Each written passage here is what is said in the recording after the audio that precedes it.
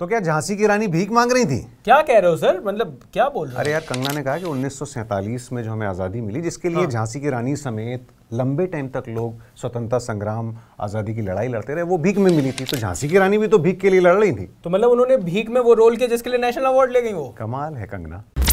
कंगना रनौत को पद्मश्री मिला और पद्मश्री मिलने के बाद उन्होंने बताया कि 2014 में भारत को आज़ादी मिली थी। यार मैं क्या बोलूँ? 2014 से पहले कंगना को दो नेशनल अवार्ड भी मिले थे गुलामी के टाइम पे गुलामी के टाइम पर मतलब कंगना रनौत ने पूरी हिस्ट्री बदल दी है। ऐसा कोई भी हिस्टोरियन सामने कितने भी हिस्टोरियंस आए हो लेकिन कंगना रनौत से बड़ा हिस्टोरियन कोई नहीं। कोई नहीं हुआ है। क्या बयान दिया है कंगना? ये तो मज़ाक की बात भी नहीं है। ये तो बड़ा शर्मनाक है यार। कंगना ने क्या कहा पहले बयान पढ़ के कंगना ने कहा कि वो आज़ादी नहीं थी जो 1947 में मिली वो भीख थी। और जो आज़ादी मिली है वो 2014 के बाद मिली है। ये एक टीवी चैनल को बयान दिया कंगना ने और खास बात क्या है चैन जिस पे हमें मज़ाक नहीं उड़ाना चाहिए हम्म।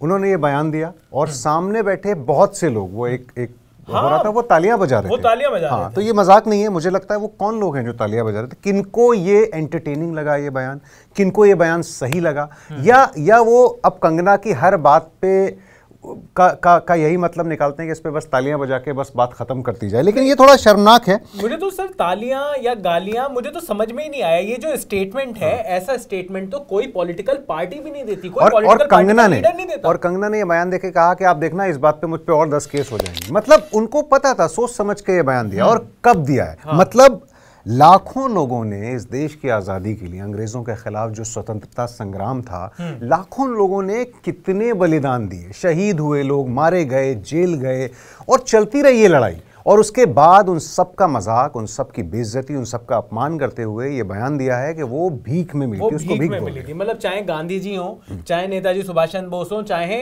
अपने सरदार पटेल हो मतलब सब लोग जितने भी फ्रीडम फाइटर्स थे सबका बलिदान व्यर्थ है क्योंकि कंगना रनौत को लगता है कि वो जो आज़ादी थी वो हमें भीख में मिली और खुद अठारह के संग्राम पे मणिकर्णिका झांसी की रानी पे बना चुकी तो हैं इनका नाम झांसी। की रानी रख देते हैं ना झांसी की झांसी। की रानी वो बनाती ये झांसी तो की रानी ये जो झांसी की रानी हो गई है ना झांसा दे रही है। झांसा दे रही है इसका मतलब ये है कि जिस जिस पे इन्होंने बायोपिक बनाया झांसी की रानी वो भीख मांग रही थी अंग्रेज़ों से। वो भीख वो भीख का संग्राम था। और 2014 से पहले तो इनको काफ़ी सारे नेशनल तो दो नेशनल अवार्ड दो नेशनल अवार्ड मिले। तो मैं 2014 के बाद से मैंने कहा जब से भारत आज़ाद हुआ है तब से इनका थोड़ा सा वो देख लेते हैं करियर देख लेते हैं।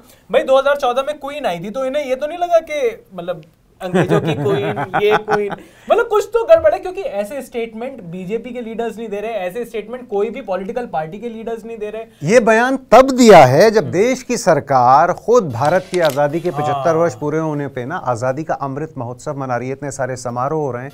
खुद पीएम मोदी जब भी भाषण देते हैं हमेशा देश की आज़ादी की स्वतंत्रता संग्राम की और बड़े बड़े नेता जिन्होंने आज़ादी की लड़ाई लड़ी उन सब की बात करते हैं उन्हें याद करते हैं और ये इससे कौन खुश होगा? मतलब मुझे समझ नहीं आ रहा होंगे कि भाई मैं पिछहत्तर साल की बात कर रहा हूँ, इतना बड़ा उसका जश्न बनवा रहा हूँ, आप ये क्या? तो मतलब और ये जिस जिस तरीके से जिस तरीके से ये बातें करती है मुझे बताइए कि कोई पॉलिटिक्स में आने का कुछ है क्या इनका? बिकॉज़ अगर इतने इडियोटिक और मैं साफ़ बोल रहा हूँ इडियोटिक हाँ स्टेटमेंट दिस इज़ नॉट ये ये पॉलिटिकल बयान भी नहीं है क्योंकि ये पॉलिटिकल पार्टी वाले ये बयान नहीं देंगे कि आज़ादी हमको भीख में मिली थी। हाँ। और खुद बीजेपी के आजकल बागी सांसद हुए हैं वरुण गांधी उन्होंने भी ट्वीट किया है उन्होंने क्या कहा है मैं आपको बताता हूँ। उन्होंने अपनी ट्वीट में लिखा है फटकार लगाई है और और बोला है कि कंगना का इसे पागलपन कहा जाए या देशद्रोह। तो ट्वीट में लिखते हैं वो वरुण गांधी जो बीजेपी के एमपी हैं हाँ। कभी महात्मा गांधी जी के त्याग और तपस्या का अपमान कभी उनके हत्यारे का सम्मान और अब शहीद मंगल पांडे से लेकर रानी लक्ष्मीबाई भगत सिंह चंद्रशेखर आज़ाद नेताजी सुभाष चंद्र बोस और लाखों स्वतंत्रता सेनानियों की कुर्बानियों का तिरस्कार इस सोच को मैं पागलपन कहूँ या देशद्रोह? ये तो बीजेपी के एमपी आजकल भागे हुए हैं जरा। हाँ। लेकिन अभी भी बीजेपी के एमपी हैं वरुण सर मुझे तो ये बताइए ये ऐसा स्टेटमेंट जो कंगना रनौत ने दिया उसको डिफेंड कौन ही कर पाएगा? उसको डिफेंड क्यों करना और और मतलब वो तो उनकी बहन है तो उन्हें डिफेंड करना एक चीज़ और मुझे लगती है हाँ। जो जो हम हम कंगना के बारे में अक्सर बात करते हैं और उनका अब अब ऐसा होता है ना कि विवाद बयान दे दिया अच्छा इसमें क्या नया है? इसकी बात भी क्यों करनी है? हाँ। लेकिन कंगना जो इतनी बड़ी स्टार हैं हम उनको अभी भी स्टार मानते हैं। हमने उनकी जो अभी रिसेंट फ़िल्म आई थी उसकी खूब तारीफ़ की थलाई भी। की की जिसके बाद मैं मैं कहना ये चाहता हूँ कि अभी अभी हम्म। अभी पद्मश्री सम्मान मिला है। उससे पहले नेशनल अवार्ड मिला था चौथा ठीक है? अभी उनकी फ़िल्म अनाउंस हुई है जिसमें नवाजुद्दीन सिद्दीकी सिद्दीकी जिसको प्रोड्यूस कर रही हैं। अपनी फ़िल्म की शूटिंग पूरी हुई है। ज़िंदगी में इतना कुछ पॉजिटिव चल रहा है। हाँ। ज़िंदगी में बहुत कुछ पॉजिटिव चल रहा है कंगना की। फिर ये बयान क्या क्या उनका मन सिर्फ़ नेगेटिविटीज में लगता है? कुछ कुछ तो और ऐसे बयान बहादुर जो होते हैं वो ज़्यादातर वो होते हैं जिनको जिनको फुटेज नहीं मिल रही होती हाँ, और उनको फुटेज में हाँ, आना होता हाँ, है। मैडम आप तो अच्छा खासा काम कर रही हो। काम की भी तारीफ़ हो रही है सरकार भी तारीफ़ कर रही है आपकी आपके। और मैं तो ये कह रहा हूँ जो लोग इनको पसंद नहीं करते एक्टिंग देखकर वो लोग भी उनको हाँ। कहते हैं कि यार बढ़िया तो एक्टिंग करिए चाहे वो थलाईवी हो। पर थलाईवी की आप बात कर रहे थे वो भी फिर आज़ादी से पहले की तो थी जयललिता।